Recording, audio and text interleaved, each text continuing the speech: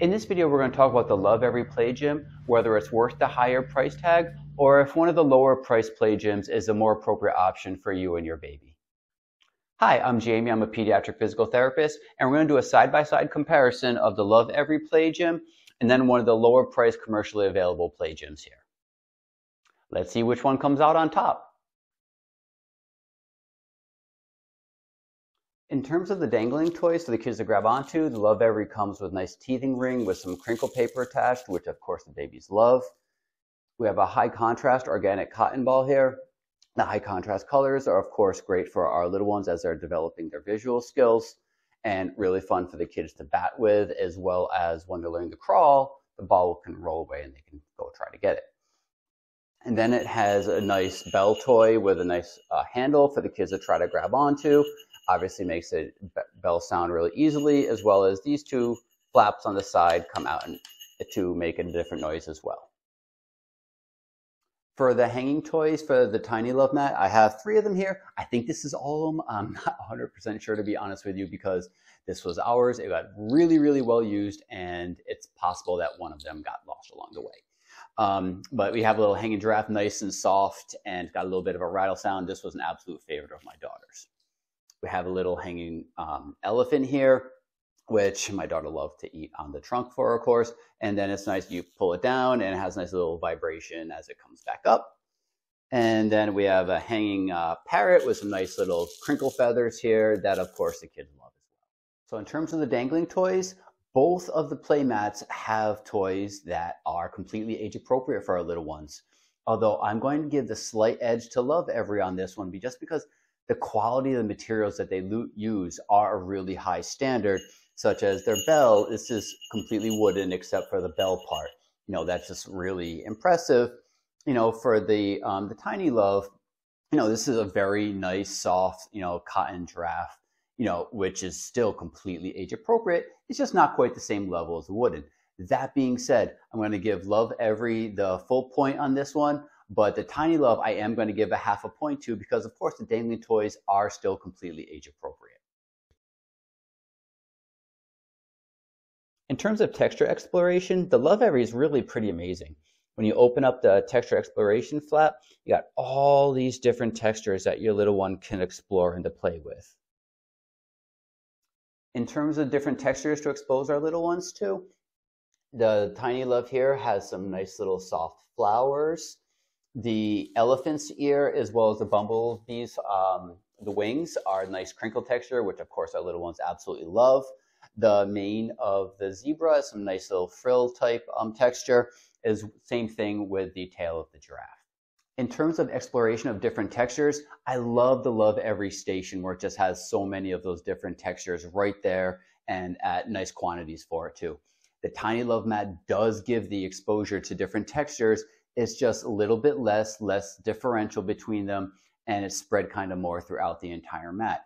They both give good exposure. However, I'm going to give the nod to the Lovevery on this one just because, again, I love that little texture station. That being said, Tiny Love's going to get a half a point on this because it does have different textures available for our little ones. It's just not quite, in my opinion, to the level as the Lovevery. In terms of visual stimulation, especially for our newborns who need the high contrast colors as their eyesight's developing, the Lovevery really goes above and beyond. You know, again, the organic cotton ball has high contrast colors, and the Lovevery also comes with a whole bunch of these high contrast colored black and white cards, which actually can clip onto these little onto their the rungs of the play gym here and you can adjust the level depending on where you want it. It can be up on the top here, on the side, or you can even put them in the little mirror holder here. They slide in nice and easily. So when your baby's doing tummy time, she can either look at a mirror or she can look at the nice high contrast colors. In terms of the visual stimulation, the Tiny Love mat has a ton of really nice vibrant colors just throughout the entire mat. It doesn't have as much of the high contrast black and white as the Lovevery did, but it does have the zebra here, which is naturally black and white as well. So in terms of the visual stimulation, I love the Lovevery mat for the birth to three month old kids because it has so much of those high contrast objects such as the cards as well as the, um, the organic cotton ball. However, the Tiny Love mat is has such great vibrant colors just throughout the entire mat, which is really wonderful for our little ones from three to six months old as they start to develop their uh, vision a little bit stronger. So I'm going to give one point to both for this one because it just depends on the age range. In terms of adjustability, the brackets that hold either the high contrast cards here or the mirrors also fit in them, which is super cool, are adjustable and can fit anywhere up along the, uh, the posts here. However, for the dangling toys, those are fixed. The holes are drilled in and these are not able to be adjusted, although each of the toys can be switched around to the different ones. They are interchangeable. In terms of the adjustability of the different features of the Tiny Love, I absolutely love this. I adjusted things constantly with my daughter.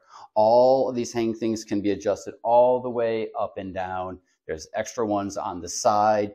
The mirror can be adjusted the location as well. So again, all of these can be moved all the way up and down. You can have more on one side compared to the other. So it was really, I loved the adjustability of the Tiny Love with my daughter. In terms of the adjustability and the ability to change the position of things on the playmat, I'm going to give the edge to the Tiny Love on this one, just because again, you can change all the different hook locations up, and I did this all the time with my daughter, and it was really helpful. That being said, the Lovevery, you can interchange the hanging toys and where they are, and the hooks for the cards that you can put on are completely adjustable all up and down the rungs. So I'm going to give the full point to the Tiny Love and a half point to the Lovevery on that. In terms of growing with the baby, so how long your little one will use the play gym for, the Lovevery really sets itself apart from the other play gyms that are on the market. But what you can see compared to the other play gym that's a huge difference is the really high arch that the Lovevery has here compared to the other one.